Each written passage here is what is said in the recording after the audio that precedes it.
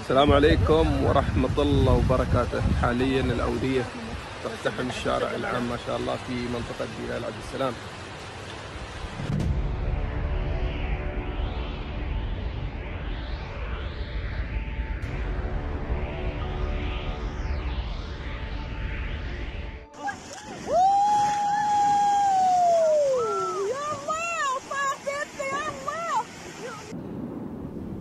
Tropical cyclone Shaheen made landfall between Al Masnaah and Al Suwaiq, Oman, about 80 kilometers 50 miles of the capital city of Muscat.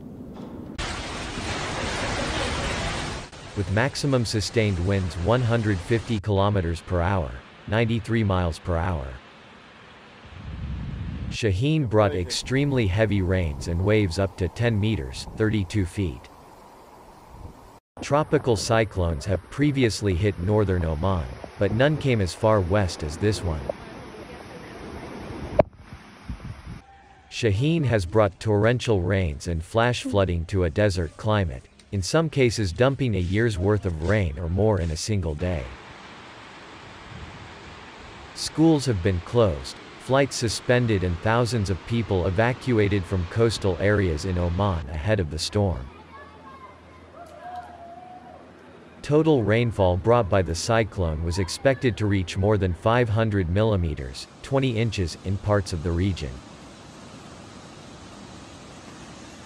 On Monday, Oman's Air Force used helicopters to winch stranded survivors to safety on the country's northern coast.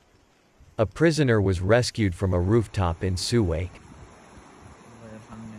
Cyclone Shaheen roared ashore as the first cyclone to make landfall in northeastern Oman in more than 130 years on Sunday night. The storm unleashed flooding rainfall and strong winds and was blamed for at least 13 lost. Shaheen produced waves up to 32 feet in height along the coast. An Oman state news agency said that armed forces were conducting a number of flood rescues. More than 5,000 people were evacuated into 80 different shelters. The North Indian Ocean tropical season does not have specific start or end dates like the Atlantic or East Pacific tropical seasons, but it is typically most active between April and December, with a peak in activity from May to November.